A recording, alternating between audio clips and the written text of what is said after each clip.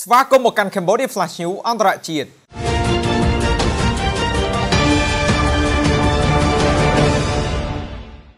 ដៃគូពាណិជ្ជកម្មរបស់សហរដ្ឋអាមេរិកបន្តអំពាវនាវឲ្យប្រទេសចិនបន្ថយការរដ្ឋបិទលើច្បាប់ពាណិជ្ជកម្មដើម្បីឈានទៅរកការនាំចេញនាំចូលដោយសេរីនិងយុត្តិធម៌កាលពីថ្មីៗនេះបណ្ដាញសារព័ត៌មាន Reuters បានចុះផ្សាយឲ្យដឹងពីសេចក្តីថ្លែងការណ៍របស់ភាគីរដ្ឋាភិបាលសហរដ្ឋអាមេរិកទទួលបន្ទុកផ្នែកឧស្សាហកម្មថ្លែងលើការរិះគន់គោលនយោបាយរបស់ប្រទេសចិន ជំវិញការបិទសិទ្ធិលើសកលភាវូបនីយកម្មការនាំចេញនាំចូលទៅលើម្ចាស់ក្រុមហ៊ុនបរទេសនានា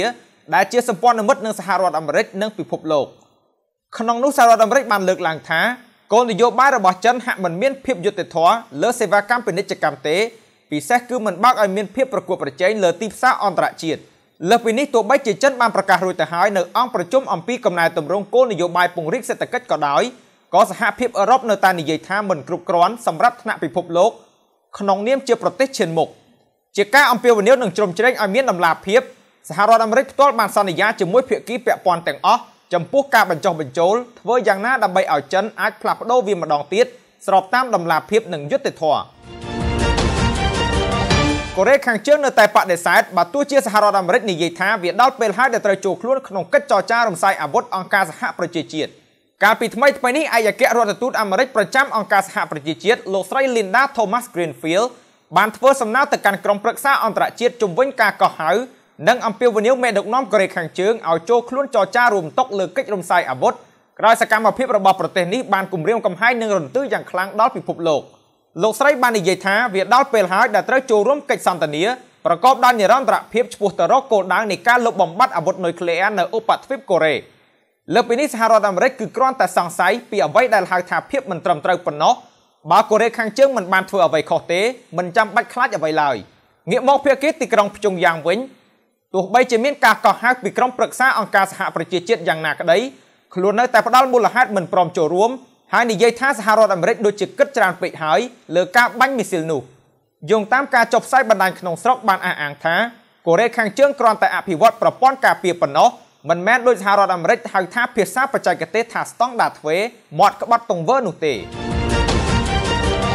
កូរ៉េខាងត្បូងឈានចូលប្រឡូកក្នុងវិស័យអវកាសដោយបានបាញ់បង្ហោះគ្រាប់រ៉ុកែតដំបូងមិនធ្លាប់មានប្រចាំប្រទេសនៅព្រឹកព្រលឹមថ្ងៃប្រហ័សនេះទូរទស្សន៍អាល់យ៉ាសេរ៉ាបានបញ្ចាំងឲ្យឃើញពីគ្រាប់រ៉ុកែតដ៏មហិមាមួយរបស់ប្រទេសកូរ៉េខាងត្បូងត្រូវបានបាញ់ចេញពីមជ្ឈមណ្ឌលអវកាសណារ៉ូចម្ងាយ500គីឡូម៉ែត្រពីទីក្រុងសេអ៊ូលក្របកាំជ្រួចនេះគឺជាសមិទ្ធផលឆ្នើមចំពោះមហិច្ឆតាទីលំហ ហើយក៏ជាជំហានដំបូងមិនធ្លាប់មានក្នុងការប្រកួតប្រជែងវិស័យអវកាសជាមួយប្រទេសមហាអំណាចក្នុងសកលលោក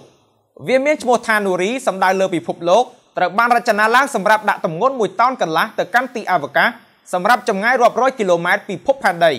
កាន់តែគួរឲ្យភ្ញាក់ផ្អើលនោះគឺត្រូវបានផលិតអស់រយៈពេល10ឆ្នាំមកហើយដោយចំណាយទឹកប្រាក់អស់ប្រមាណ16000លានដុល្លារអាមេរិកបើទោះជាកូរ៉េខាងត្បូងកំពុងស្ថិតក្នុងសម្ពាធនិងភាពតានតឹងពីអ្នកជិតខាងកូរ៉េខាងជើងក៏ពិតមែន ប៉ុន្តែប្រទេសនេះហាក់មិនបានបណ្ដាលបណ្ដោយទន់តូចជាមួយនឹងបញ្ហានោះទេ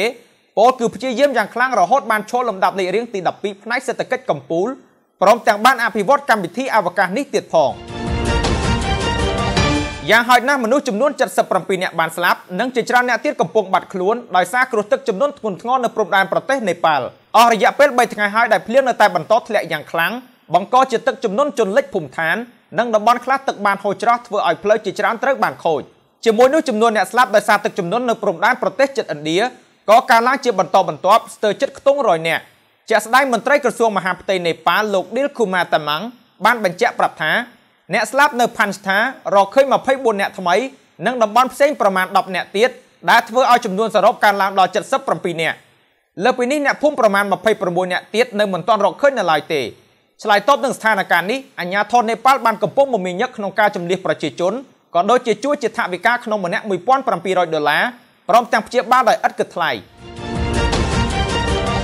រថភ្លើងដឹកអ្នកដំណើរបានបុកជាមួយរថយន្តទុកចោលនៅជាក្រុងប្រទេសអូស្ត្រាលីបណ្ដាលឲ្យខ្ទាតចេញពីផ្លូវដែកគៀបតែកង់ឲ្យរងរបួសហេតុការណ៍នេះបានកើតឡើងនៅទៀបភ្លឺថ្ងៃប្រហ័សវេលាម៉ោង4:15នាទីនៅលើកំណាត់ផ្លូវដែកមួយចម្ងាយ90គីឡូម៉ែត្រពីទីក្រុងស៊ីដនីប្រទេសអូស្ត្រាលី